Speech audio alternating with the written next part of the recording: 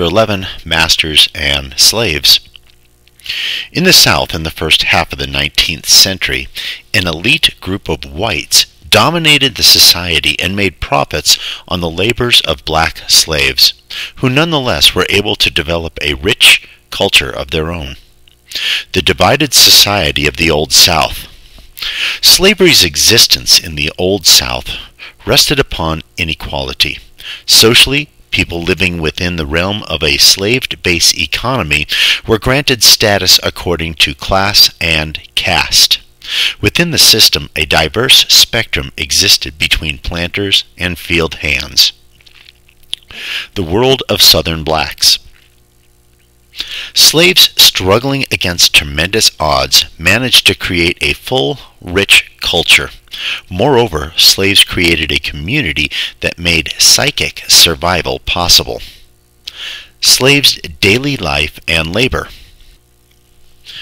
90% of the South's 4 million slaves worked on plantations, with the rest working in industry or in cities. Slaves working on plantations typically worked in a gang system, overseen by a driver. Some slaves who worked on the rice plantations worked under a task system that gave slaves more control over their workspace. Within both of these systems, about three quarters of the slaves worked as field hands.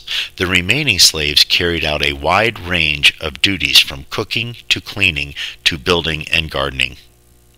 Slave families and kinship and community. The slave family was the most important institution of African Americans. Families, though often broken up, provided a foundation that prevented slaves from becoming completely demoralized.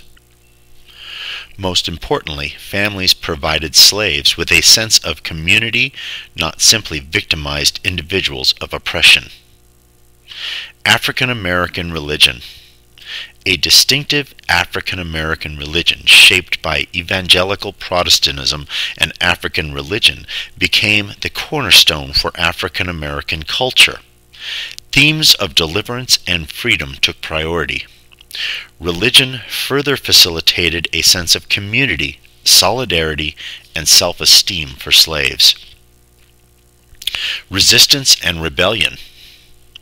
On a daily basis, African American slaves resisted their oppressive plight through sabotage, stealing, stealing of provisions, storytelling, and running away. Slaves also rebelled violently. Between 1800 and 1831, slaves participated in revolts, hoping to liberate themselves. Free blacks in the South. Though certainly a minority, a few blacks did attempt to live freely within the Old South. By the 1830s, this unique group became increasingly subjected to rigid rules designed to limit their movement and contact with other African Americans. White society in the antebellum South. Popular preconceptions of the antebellum South that portray the era with aristocratic splendor fall short of the reality for an overwhelming majority of white Southerners. Only about 1% of white Southerners could afford to own 50 slaves, entertain lavishly, and live in a mansion.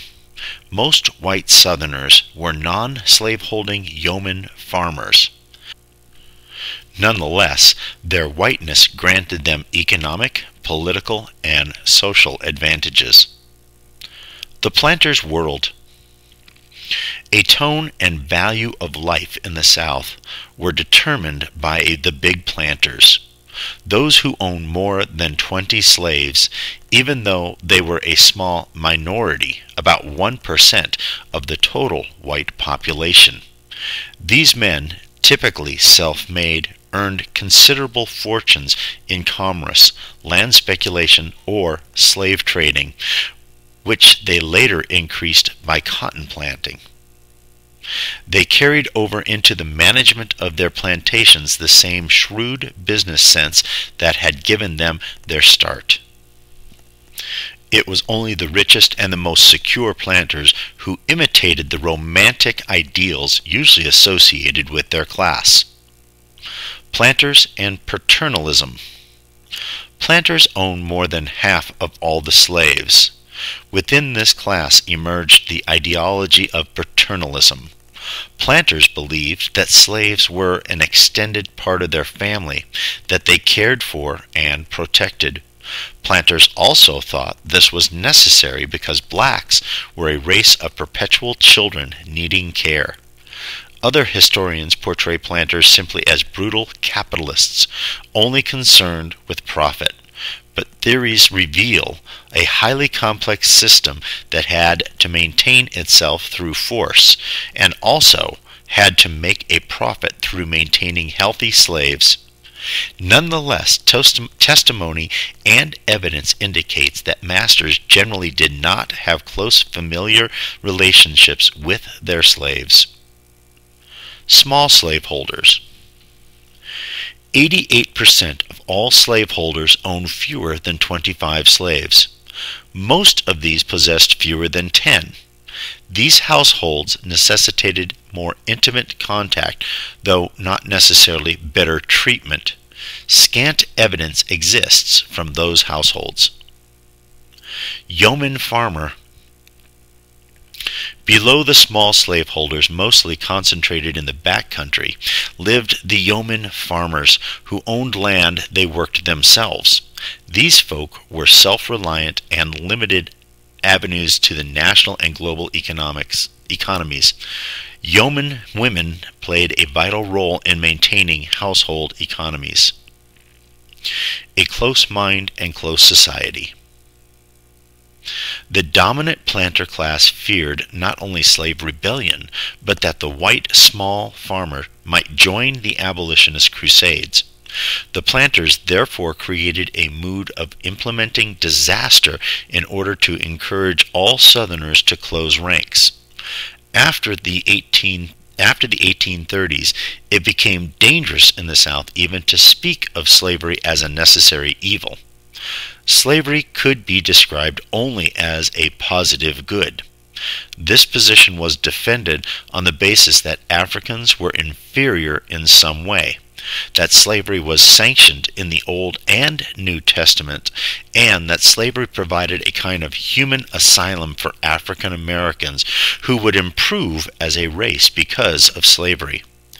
In addition, Southerners claimed that slavery was superior to the Northern wage labor system. Although books criticizing slavery were censored and people who criticized slavery were beaten and forced to immigrate, and efforts were made to keep slaves illiterate and to keep free blacks under surveillance, Southern planters never achieved a sense of security. By the 1850s, they began to believe that their safety could only be guaranteed by secession from the United States. Slavery and the Southern economy. Southern societies resisted economically upon the institution of slavery. Between 1810 and 1860, the number of slaves owned tripled, increasing the number to nearly 4 million. The internal slave trade. As tobacco farming became less important in some upper southern states like Virginia, Maryland, and Kentucky, which raised other crops and began infant industries, these states began selling surplus slaves to the lower South. Slavery emerged to dominate the lower South more than in the upper South. The rise of Cotton Kingdom. The invention of the cotton gin and the introduction of short staple cotton to the lower South made cotton the single most important export and the most profitable business in the United States. The amount of cotton that was grown in the Deep South grew dramatically between 1817 and 18